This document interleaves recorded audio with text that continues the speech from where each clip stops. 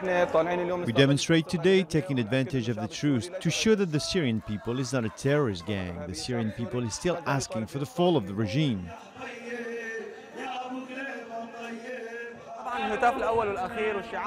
We're shouting our first and last slogan. The people want to overthrow the regime, in addition to revolutionary songs.